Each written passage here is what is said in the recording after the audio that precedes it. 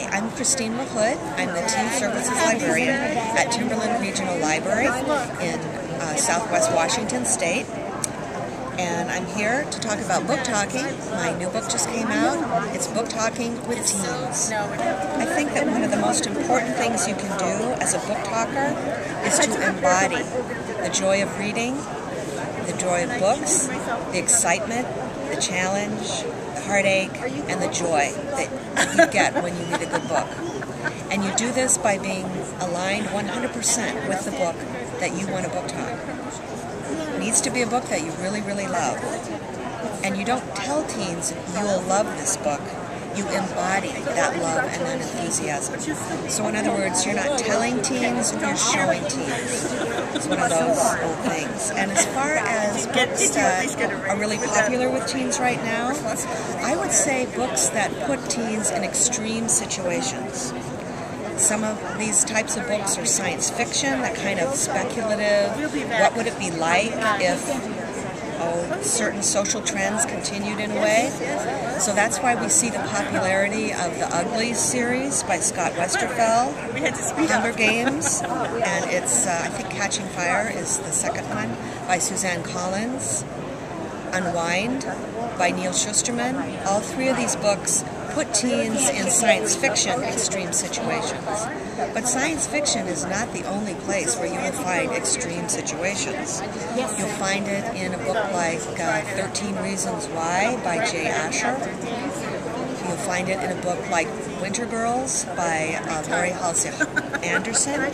These are books that put teens in extreme situations in the real world, the present day, and do ask those questions. What would it be like if someone you knew committed suicide and she was convinced that you were one of the 13 reasons why she did it?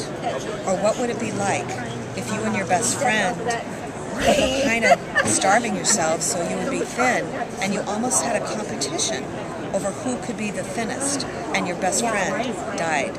That's the situation in The Winter Girls by Laurie Halse Anderson.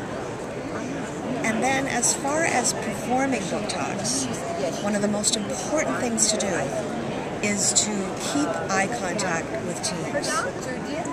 Don't, please don't tape your book talk to the back of the book or even glance up at a, say, a PowerPoint screen where you've got the, the uh, cover of the book keep looking into the eyes of teens. Keep that connection. Because actually, what you're doing, you and teens are co creating your book talk performance. You are getting as much from them in their reactions as they are getting from you. And when you have that connection, it's so much easier at the end of your performance to ask the question, well, I've told you about some good books. Now I need you to talk about some books that you've read recently and you recommend. At first, dead silence. But all it takes is for one teen to talk about one book, and then a second, and a third, and a fourth, and pretty soon the air is flying with titles. You can barely write them down, they're going so fast. And you can slip in a little reader's advisory, uh, like uh, if you like this book, that you're talking about, you might enjoy this other book.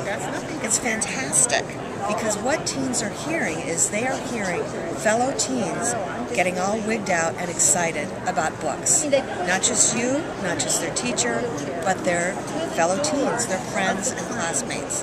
That's what really sells reading and books. I hope this has encouraged you and given you some ideas and inspired you to go out there and book talk with teens.